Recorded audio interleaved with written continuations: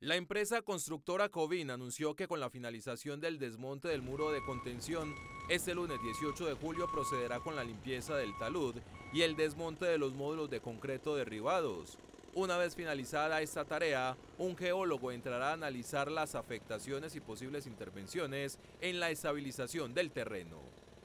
La empresa resaltó que durante el sábado se dio inicio a la eliminación de material con maquinaria pequeña con el fin de no generar afectaciones a los peatones y motociclistas habilitados para circular por un costado del tramo afectado. Esta semana ingresará maquinaria de mayor tamaño que se adapte al terreno. Es necesario informar a la comunidad del sector de Rodeo Alto y a la ciudad en general que este domingo 17 de julio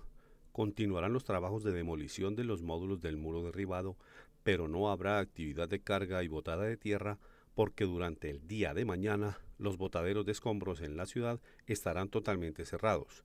lo que no permitiría trasladar el material removido hacia sitios seguros.